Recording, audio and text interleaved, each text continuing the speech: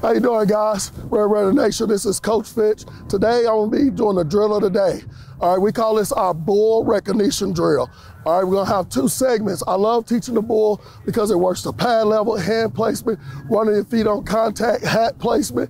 But we want our guys to know this. If we got a guy running back, we're gonna take him to the quarterback, and then we're gonna get off the block for a sack. Also, we're gonna show our guys taking a bull, but then we're gonna feel that offensive lineman stick, get his feet in the ground. He's gonna be leaning now. We wanna snatch, throw our hips opposite of where we're snatching with a rip and a reach. All right, I wanna introduce you to the QB hunt. Rigsby, Woodville, Texas. Tanner Allen, Bryan, Texas. James Hanson, Fontana, California.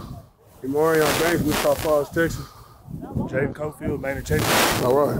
DeBertlin Carroll, Dallas, Texas.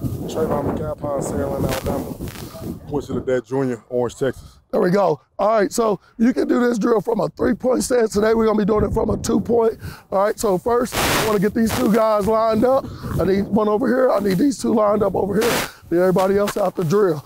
All right, let's start it off, Q. Make sure we violent on contact, get full extension. Set, go, boom, good, good, good. Open up, get away, good, good. Set, go, boom, take it back, take a stick, boom, good. And away with a great snatch.